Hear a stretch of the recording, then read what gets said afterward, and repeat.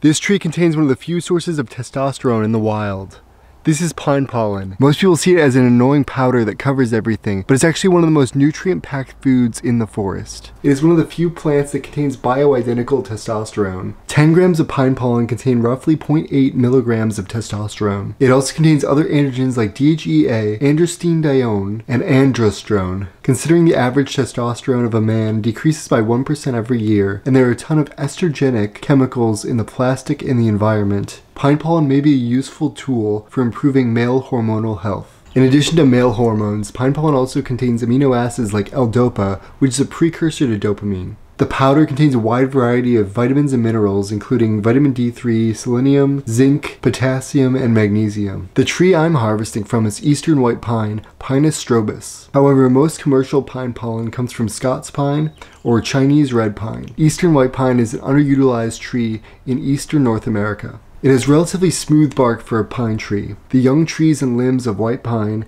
have smooth grayish brown bark, and it turns dark and scaly as it gets older. If you happen to come across a fallen white pine tree, you can carefully remove the smooth sections of the bark with a knife or a saw. Then you can fold the bark to make various watertight containers. You can even use hot rocks to boil water in a survival situation. Eastern white pine is also identified by its needles that form in bunches of five. These needles can be used as a tea or fermented into a Sprite-like soda. If you do make a pine needle tea, make sure to keep the water below the boiling point because heat can destroy vitamin C. Pine pollen has a very short window of collection. When I lived in western North Carolina, this period was late April to early May. This year in Maine, I collected the pollen in early June. In the spring, pine trees will begin to form new growth at the end of their branches. A week or two after the pine tips appear, catkins will begin to develop.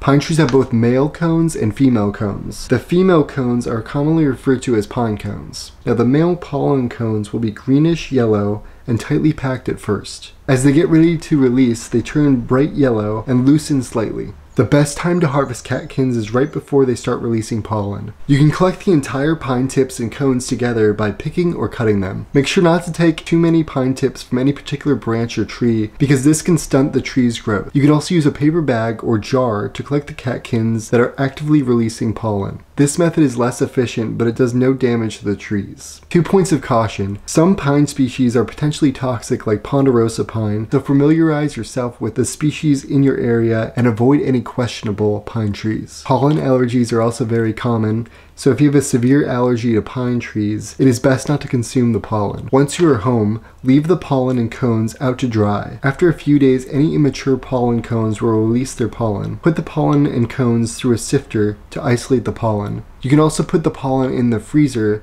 to break the cell wall. Freezing it can be a great way to crack the cell walls of the pollen. However, there isn't strong scientific research on whether breaking the cell walls is useful. Pine pollen can be used in a powder form raw. You can add to water, smoothies, or even oatmeal. Making a tincture with pine pollen, however, is one of the best ways to get the medicinal benefits. Pine pollen is fairly hydrophobic, so it's best to use a higher alcohol percentage for the tincture. You can make a tincture with the pine cones or just the powder for greater potency. The pollen will naturally want to rise to the top of the jar, so make sure to shake it every day. Pine pollen contains over 200 nutrients including glutathione and superoxide dismutase. Glutathione is made by the liver naturally and binds itself to toxic chemicals to flush them out of the body. Superoxide dismutase helps protect our DNA and cells from oxidation. I find that pine pollen gives me extra energy and motivation, so it functions nicely as a pre-workout. I have tinctures of white pine pollen available on my website. They are made with organic alcohol and wild harvested pine pollen.